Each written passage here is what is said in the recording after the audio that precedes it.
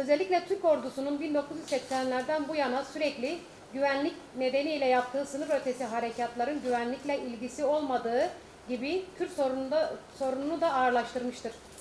Kürt sorunu Cumhuriyet'in kuruluşundan bu yana güvenlik siyasetiyle çözülmedi, çözülmez de. Açıktır ki Türkiye'nin derdi sınır güvenliği ya da güvenlikli bölge değil. Derdi sınır güvenliği olsa sınırda ortak devriye önerisine evet derdi. Kaldı ki Türkiye'nin sınır, güvenliği üyesi olduğu NATO'nun güvencesi altındadır. Biz aşağıda imzası bulunan parti ve hareketler olarak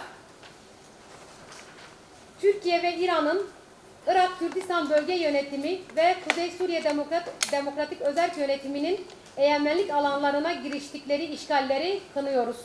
Bu işgallere son vererek askeri güçleri çekilmelidir. 2.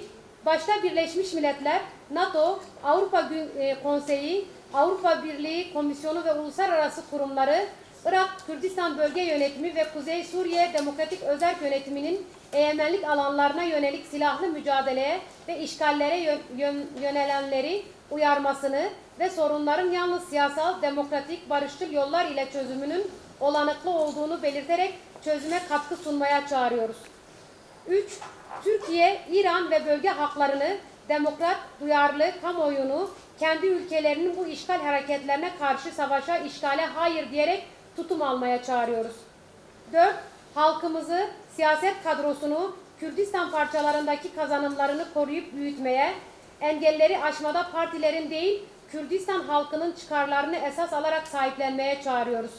Kürdistan gözüyle parça Kürdistan gözüyle parçalardaki kazanımları sahiplenmezsek herkes kaybedecek.